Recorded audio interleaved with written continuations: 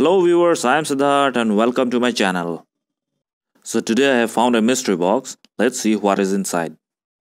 So this is the box as you can see. Professional instruments. A branding is made on the box.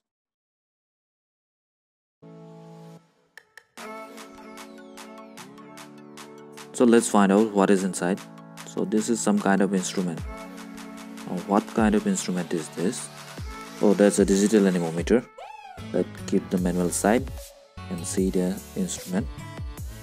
So this is the monitor as you can see. Power unit volt centigrade and fahrenheit. Maximum minimum and average buttons are provided.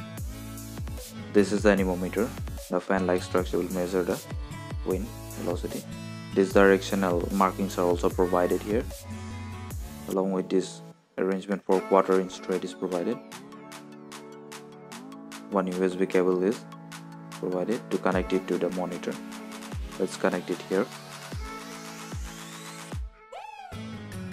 And switch it on. Oh it's working. So the functions are given in the manual. Air velocity and temperature measurement.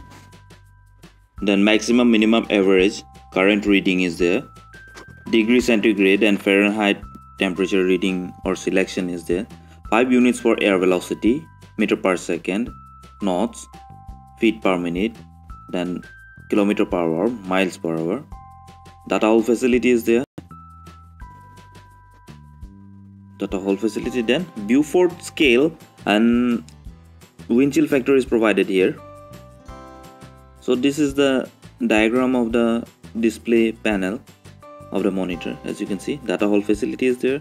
Air velocity then wind chill factor Beaufort scale then air velocity unit and temperature. We can change that unit of the temperature according to our needs. That's all here. So as you can see i'm inside the room so there is no wind here. So the wind velocity here is zero zero. As you can see it is zero. Below that this is the room temperature 26.9 degrees centigrade. These are the buttons provided in the monitor to change the units of temperature and the wind speed so I will have to press the unit button one for one time and then press the arrow button to change the units of the wind speed. Now it is at feet per minute then knots then miles per hour and meter per second kilometers per hour feet per minute again knots miles per hour again again back to meter per second. So let's test it.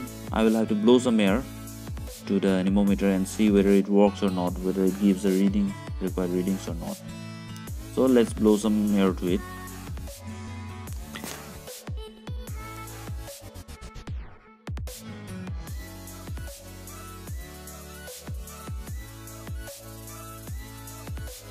Okay okay i think i have reached my level. I've reached about 5 meters per second by blowing. I can that much of power i can generate by my lungs. So I think we should test it one more time and record the highest speed. So I have hold it at the maximum wind speed. This is 6.4 meters per second. By pressing the hold button I can lock it at that speed.